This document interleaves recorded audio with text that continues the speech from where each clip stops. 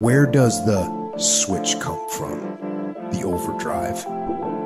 It is the thing that allows you to go the extra distance, to dig a little deeper, to push a little harder. Wins and losses come a dime a dozen. But effort, nobody can judge effort. Because effort is between you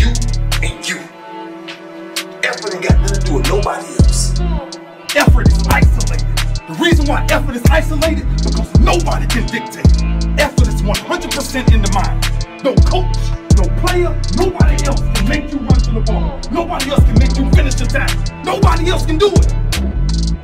It takes both emotion and logic to reach your maximum potential, to really give everything you have to go beyond your limits. Because emotion and logic will both reach their limitations. And when one fails, you need to rely on the other. When it just doesn't make any logical sense to go on, that's when you use your emotion, your anger, your frustration, your fear to push further, to push you to say one thing I don't stop. When your feelings are screaming that you have had enough, when you think you are going to break emotionally, override that emotion with concrete logic and willpower that says one thing I don't stop. Fight weak emotions with the power of logic. Fight the weakness of logic with the power of emotion. And in the balance of those two, you will find the strength to say to yourself, I don't